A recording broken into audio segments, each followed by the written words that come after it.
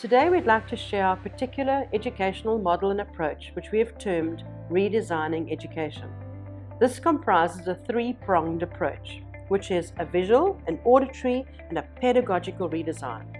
It's important that all three work together in order that it's a complete redesign of a child's learning experience. Whilst we have made the decision to use the national curriculum, which is CAPS, we have taken it and redesigned our own framework for learning, REF 21, which stands for Redesigning Education for the 21st Century. We've adopted the Reggio Emilia approach, the Socratic approach, and the phenomenon based approach in the pre prep, prep, and secondary school, respectively. And these have certain commonalities. Firstly, they focus on the individual child's particular learning style.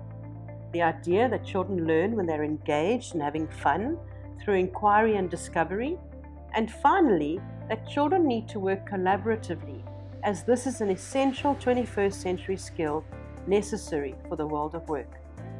And of course, underpinning all of the above is a strong technological bias, which is the integration of digital devices to enhance and augment a child's learning experience. When your child walks into our modern learning environment, we want him or her to see a completely different learning environment, to experience a completely different approach, and to hear a different anatomy of language. Masterclasses, personalized timetables, interdisciplinary experiences, and flexible learning hubs.